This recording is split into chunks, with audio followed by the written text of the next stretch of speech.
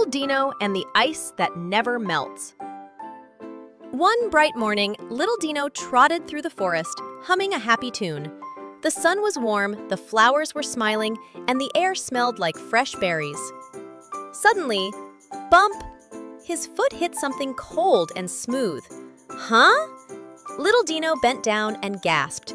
It was a chunk of ice, but it wasn't melting, not even a drop of water. That's impossible, he whispered, eyes wide. Ice always melts in the sun. Curiosity bubbling inside him, little Dino poked it with his claw. Brr! It was freezing! He even blew on it, but instead of melting, a mysterious white mist swirled into the air like tiny ghosts dancing. Whoa! Little Dino giggled. It's like magic! Just then, Professor Hoot, the wise old owl, swooped down from a nearby tree. Ah, I see you found some dry ice, my young friend. Dry ice? Little Dino tilted his head. But ice is wet. Professor Hoot chuckled. Not this kind. Dry ice is actually frozen carbon dioxide, gas that's so cold it skips the melting part and turns straight into gas. That's called sublimation. Little Dino's jaw dropped. Sublo what? Sublimation, the owl repeated. It means going from solid to gas without becoming liquid first. Watch closely. Professor Hoot placed a piece of dry ice into a bowl of warm water. Hiss! Thick white clouds poured out, curling and tumbling like a magical waterfall. Whoa! -whoa! Little Dino's eyes sparkled. It's making fog! That's the carbon dioxide gas mixing with water vapor, explained Professor Hoot.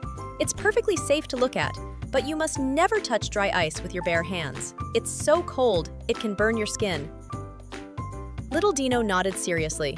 So, it's like ice from a secret snow kingdom that never melts. The owl winked. Exactly. Well, until it all turns into gas. An idea popped into Little Dino's head.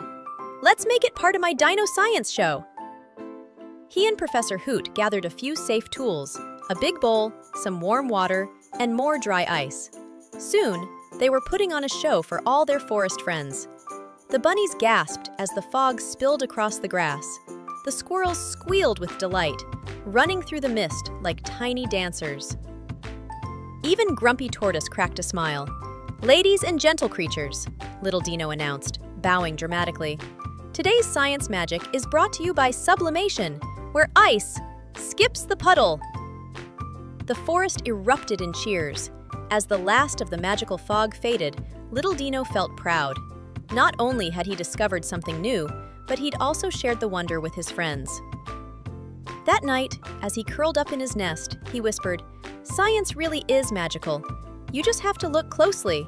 Please, like, subscribe, share, and visit our channel for more learning videos. Happy learning!